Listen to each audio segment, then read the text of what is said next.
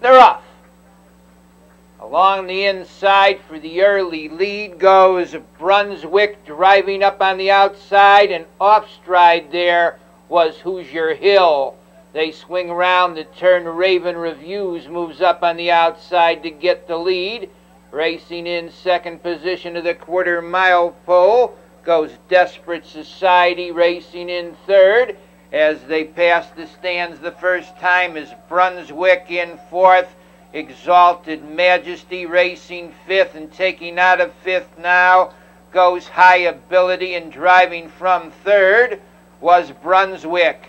It's Brunswick on the outside gaining the lead, racing in second. Raven Reviews in third as they go to the half mile pole on the rail. Desperate Society, Raven Reviews regains the lead. Brunswick under a powerhouse drive is second, racing in third. As they go to the three quarter mile pole, that's Desperate Society. It's Raven Reviews, the leader. Brunswick out there, second, racing third. Desperate Society, High Ability comes on fourth. Racing in fifth to the three quarter mile mark now on the rail. That's Exalted Majesty. They go to the three quarters.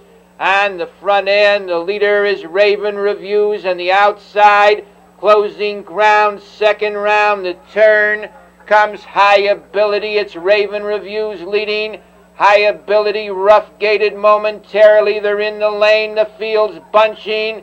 That's High Ability closing ground. Also on the move now is Brooklets Roswell. It's Brooklets Roswell getting the lead, racing in second position. Monster of Midway, Brooklets Roswell, Monster of Midway coming on.